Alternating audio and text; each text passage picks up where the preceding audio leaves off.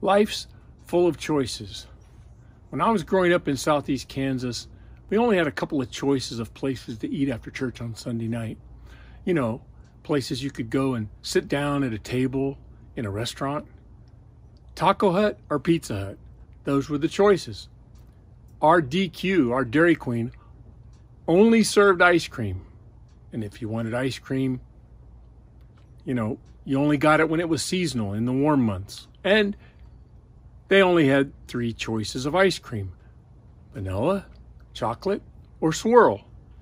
Today we live in a Baskin Robbins society where people walk into an ice cream store, you know, and can't decide because there's so many choices.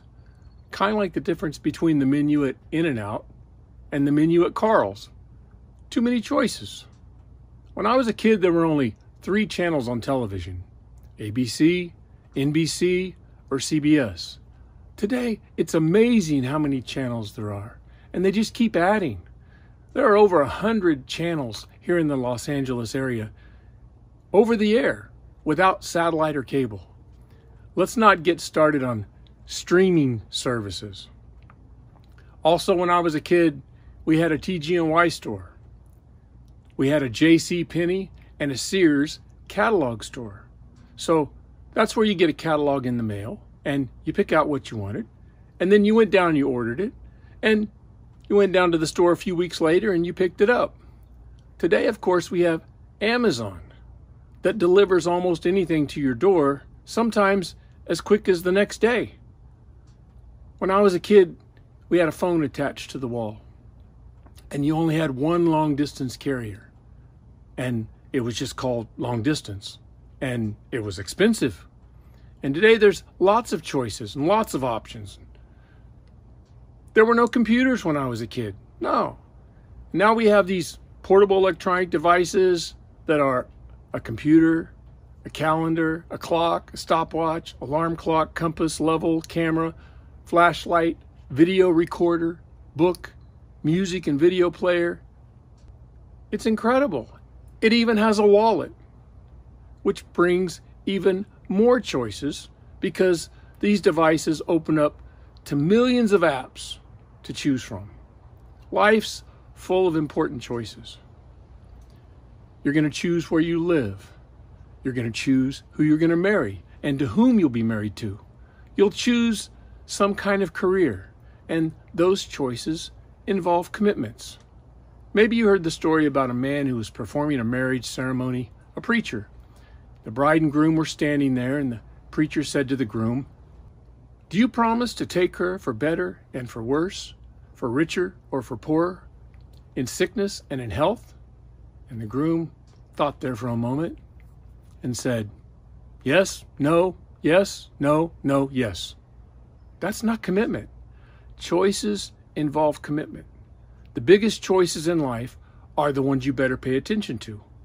A while back, there was a time management consultant speaking to a group of CEOs about managing their time. And to illustrate his point, he had a jar.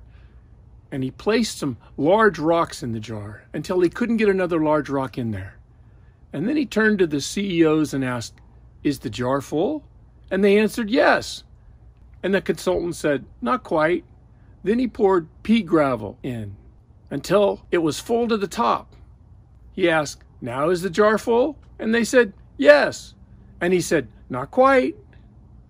Then he took a very fine sand and poured it into the jar. It was amazing how much sand he could get in there. He filled the sand right up to the top and said, Now is the jar full? By now, everyone had figured out where he was going, so nobody said yes. And he said, You're right. Then he took water and poured it into the jar. And it was amazing how much water went in there. And then he asked, What's the lesson? What's the lesson we're learning about time management? And a number of the CEOs immediately said, Well, this teaches us that no matter how busy you are, no matter how full you think your schedule is, there's always room for something else. And the consultant said, Absolutely wrong.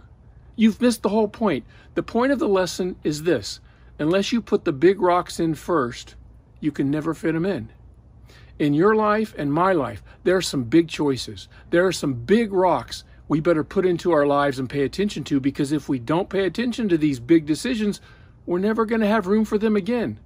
And I suppose the greatest choice you'll ever make in your life is what are you going to do with Jesus Christ? What are you going to do about your relationship to God?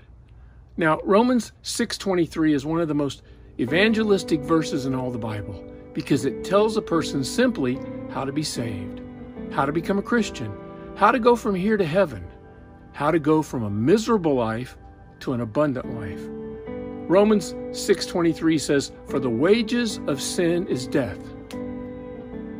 Has anybody ever read that and wondered why it's not it's not grammatically correct?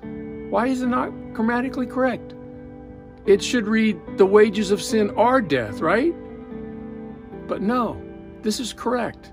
And I'll show you why it's correct later in the series. Thank you, Lord, for what you're going to teach us. We have big decisions in our life. And the biggest decision is what we're going to do with you. And I pray that we would have a clear understanding of what's involved in that decision, how it affects us, and what it means to have a relationship with Jesus Christ. In Jesus' name, amen the right.